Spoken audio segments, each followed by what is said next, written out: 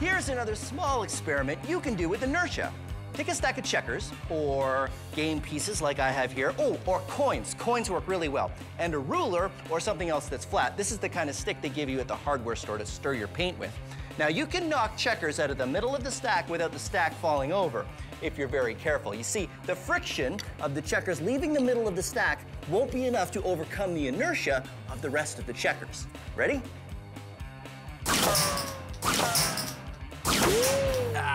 Now, let's max it out. Oh.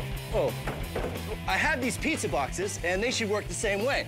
You see, you get a stack, and don't worry, I've already eaten all the pizza. And I put them on there like that, and now I need a ruler.